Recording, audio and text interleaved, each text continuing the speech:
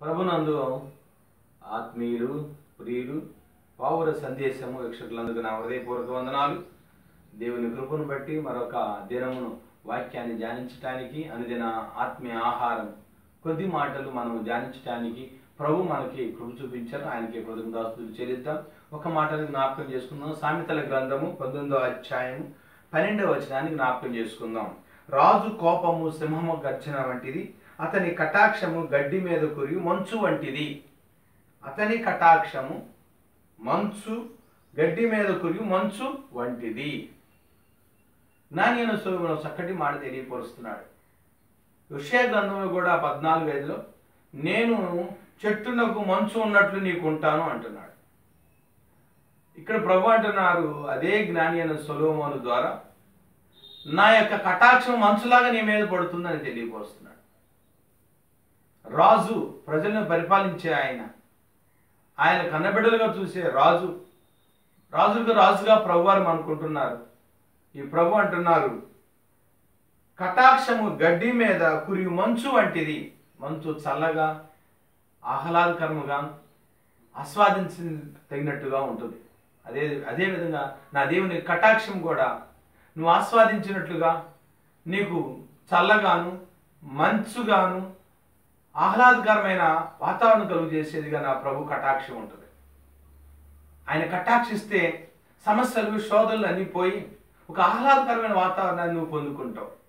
ఆనాడు అబ్రహాముకు మరి సంతానము కలగలేదే వాగ్దానం చేశాడని కలవరముతో ఉన్న సందర్భంలో ఒక దినం అబ్రహాముని దేవుడు దర్శించాడు. అబ్రహాం అన్నాడు అయ్యా నీ కటాక్షము నా కలిగి ఉన్నట్లయితే నీ కటాక్షం నాతో ఉన్నట్లయితే ఇదిగో నన్ను దాటిపోవద్దు. నాకు కలిగిన ఈ యొక్క బలహీనతను అనగా సంతానలేమి తీసివేయండి. త్వరగా ఆశీర్వాదం దయచేయమన్నాడు. ఆనాడు తప్పనిసరిగా నా కటాక్షం నీకు ఉంటుందని తెలియపరిచాడు. ఆ ప్రకారమే సంవత్సరం తిరిగి వచ్చే లోపల ఇసాకుని ఆశీర్వాదాన్ని పొందుకున్నాడు అబ్రహాం. దేవునికి స్తోత్రం. కాబట్టి ప్రభు యొక్క కటాక్షం మన మీద ఉన్నట్లయితే ప్రభు ద్వారా మనకు ఆహ్లాదకరమైన మనసు నెమ్మది కలుగు చేసే దేవుడుగా ఉన్నాడు. ఆనాడు ఇజ్రాయెల్ ప్రజలను నడిపించుకుంటూ వెళుతున్నాడు నాయకుడిగా మోషే. మార్గ మధ్యంలో ఆగిపోయారు. వీరు లోబడిన ప్రజలు అని ప్రభు అంటున్నారు. ఈయనేమో వారి ప్రజల పక్షాన మాట్లాడుతున్నాడు. ఎలాగోలా మీరు నడిపించండి అయ్యా. ఏదో విధంగా నీ కటాక్షం మా మీద ఉంచండి అయ్యా. వీరి ఎడలు ఉంచండి అయ్యా. మీరు ఉంటేనే మేము ఇక్కడి నుంచి వెళతాం. మేము ఉంటే మీరు ఉంటేనే మేము ప్రయాణం అవుతామని అన్నాడు మోషే తెలియపరుస్తాడు. మాటను చూద్దాం. నిర్మాకాండము ముప్పై మూడవ అధ్యాయము పదిహేడవ వచనం ఆ పై వచనాలు చూసుకున్నట్లయితే పదమూడు కాబట్టి నీ కటాక్షము నా ఎడల కలిగిన ఎడల నీ కటాక్షం నా కలుగునట్లు దయచేసి నీ మార్గము నాకు తెలుపుము. మా ప్రయాణాలు మీరు ఉండము.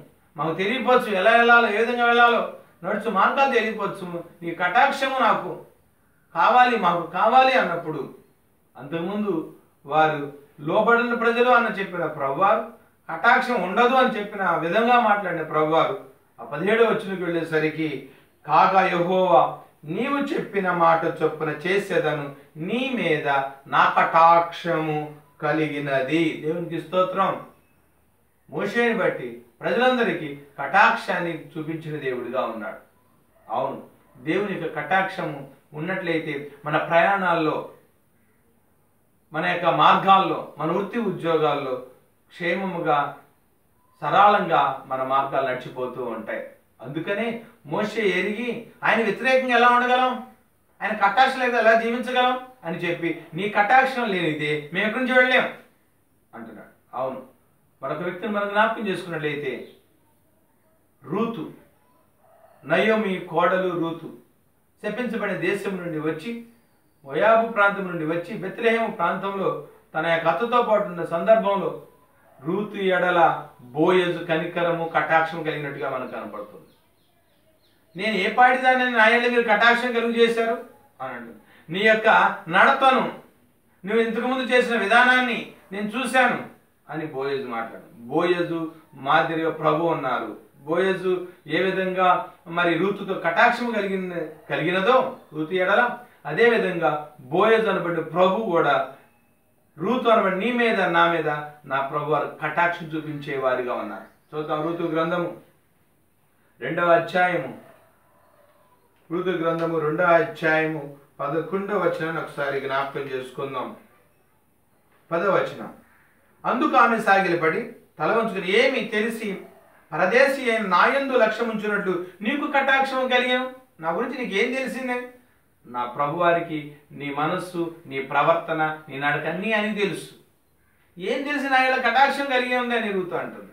అవును అంతకుముందే భోజనం అన్ని విషయాలు తెలుసుకున్నాడు. నా ప్రభు అయిన దేవుడు కూడా నీ విషయాలన్నీ ఎరిగిన దేవుడు. నువ్వు యథార్థంగా జీవిస్తున్నావా? ప్రభు నమ్మకంగా జీవిస్తున్నావా? తప్పనిసరిగా ఆయన కటాక్షం నీ మీద కలుగుతుంది. దేవునికి స్తోత్రం. అందుకని మలాఖీ గ్రంథంలో ఒకటో అధ్యాయ పదో వచ్చిన చక్కటి మాట తెలియపరుస్తున్నాడు. ఆయన కటాక్షము కొరకు ఆయన కటాక్షము కొరకు మీరు ఆయన శాంతిపరచండి అంటున్నాడు. ఆయన కటాక్షం కొరకు. చూద్దాం మలాఖీ గ్రంథం ఒకటో అధ్యాయం పదో దేవుడు మనకు కటాక్షము దేవుడు మనకు కటాక్షం చూపినట్లు ఆయన శాంతిపరచడే. ఆయన అనగా ఆయన కటాక్షం అనే ఉండాలి అంటే మనము ఆయనను సంతోషపరచాలి. ఆయనకి ఏది సంతోషం? విరిగి నలిగిన హృదయం ఆయనకు సంతోషం. ఆయనకి ఏది సంతోషం? వి- ఏ హృదయం అయితే నలిగిన హృదయంతో ప్రార్థిస్తారో అది ఆయనకు సంతోషం.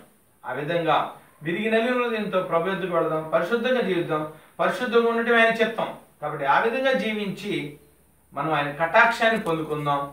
తప్పనిసరిగా మనకు మంచు ఎలా చల్లగా ఉంటుందో మన జీవితాలు కూడా చల్లని కాపురాలుగా సాగిపోతా ఉంటే ఏ వ్యతిరేకత మనకు ఉండదు. అందుకనే ప్రభు కటాక్షం కొరకు ఎదురు చూడు ఆయన చిత్తానుసారం జీవించు ఆయన మా ఆజ్ఞలు అనుసరించు దేవుడి కటాక్షం ఎప్పుడు నీకు ఉంటుంది నువ్వు అన్ని విషయాలు విజయం కలుగు చేయనుగాక.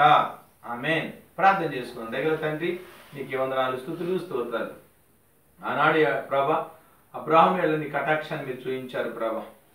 మోసే ప్రయాణాల్లో మోసేకు కటాక్షం కలిగి ఉంది ప్రభ మీ కటాక్షం. ఆనాడు ప్రభ నాయనకి వందనాలు. బోయసుకు రాతు రూతుకు నాయన కటా కటాక్షం కలిగించారు ప్రభ. ఒకసారి జ్ఞాపకం చేసుకుని అదే విధంగా నాయన మా ఎడల ఈ వీక్షకుల ఎడల ప్రభ నీ నీ కటాక్షాన్ని కలుగు చేయమని నీ కృపను కలుగు చేయమని నీ కటాక్షం కలుగు చేస్తే ప్రభా ఆయా సమస్యల నుండి శోధన నుంచి విడుదల పొందుతాం. మా జీవితాలు ఆయన ముప్పదంతులు అరవై నూరంతులుగా నాయన చల్లని కాపురాలుగా ఉంటాయని మేము నమ్ముతున్నాం ప్రభా. వాక్యంలో వ్రాయబడిన ప్రకారం మా ఎడల మీరు కా కటాక్షం కలిగి ఉండమని ప్రేమతో ఒకసారి జ్ఞాపకం చేసుకోమని ఏ అతి శ్రేష్టమైన నామని అడిగి వేడుకొనుచున్నాము తండ్రి. ఆమె అందరికీ వందనాలు.